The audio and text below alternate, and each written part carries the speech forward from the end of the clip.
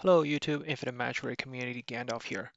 Uh, we are with the Easter event, so let's do a quick coverage over what we have. So make sure you do your holiday check-in.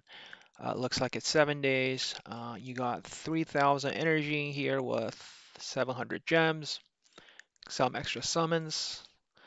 Let's go to the Easter party. Uh, limited time dungeon is back. You have a legendary dragon eye in here. as soon as I finish this video, I will work on this and share a quick guide on clearing this. Uh, I think it might be very similar to last year as we've seen the general trend now is they're just repeating repeating the the, the events here. Uh, I do remember last year it does get a little bit tricky to sneak past some of the bunnies, so look forward to that video if you're stuck.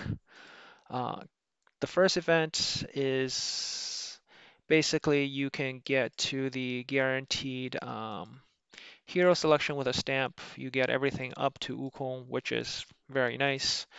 Um, and you have a very small chance, okay, very small, 2% chance of getting a hero selection chance chest, which is very RNG based, but does look very attractive. But let's look at what is the cost to getting this. In the market, uh, we can see we get one a day. So that will be, we're putting us at 16 tokens. And let's see how much we need to buy.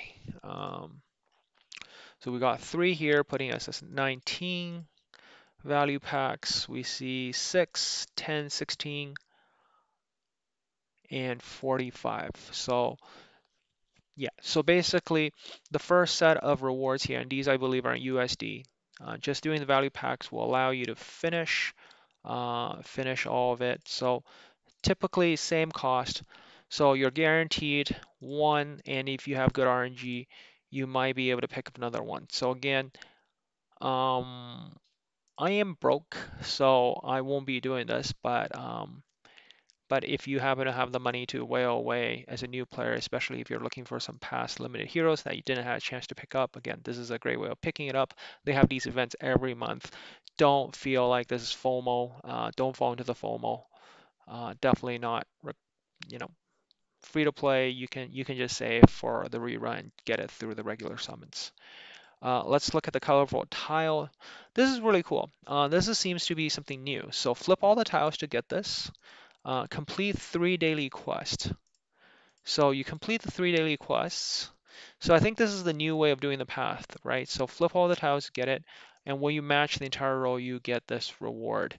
Um, you need a total of 36 uh, tiles. I think the you can the quest will keep unlocking, so you need to finish all the quest. Um, and then I think the prior day quest will be in there. So let's see if there's any summon requirements.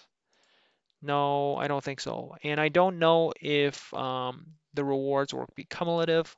Let's let's do a quick try. Let's let's participate in a dungeon and let's see if it counts towards future days. So let's just quickly do our boss here. Okay, by the way, two turn. two turn to knock out the boss. We'll quickly do three here. And then we'll go see if the rewards carry over. If not, we got to be really careful about doing these events. Let's go back. Um, our quest. It looks like they carry forward. So, so don't worry about you know timing it or saving your your rewards. It looks like it's the same battles every day. You just you can just start working on it now, and you just go in there and collect the rewards in later days. Uh, the next one's a holiday sign-in, so we already showed that. Limited dungeon. Then you have the good deals, 250 bucks as usual. This is like the same deals all the time now. I would say you have to buy it in order, so only really go after it if you feel like you need all of these early.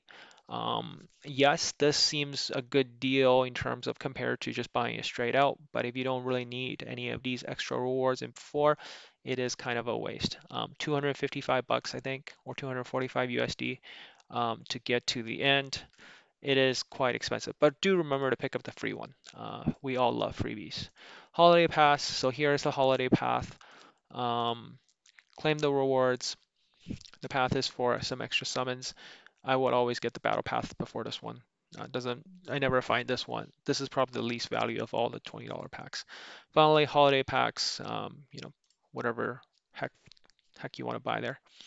All right, so that is the event in nutshell, quick overview. Uh, I'm gonna get on the the next video and hopefully, you know, this quick overview helps you in terms of figuring out what you want to spend on this particular event. Gandolf out.